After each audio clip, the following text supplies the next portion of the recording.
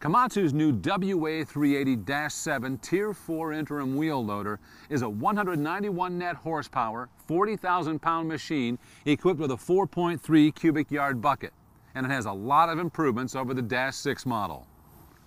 With its new large capacity torque converter with automatic lockup in second, third, and fourth gears included as a standard feature, this machine can climb hills faster while using less fuel.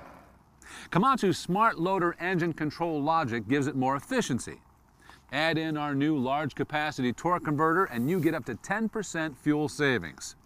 The 380-7 has a roomier all-new cab loaded with standard features to make your operators more productive.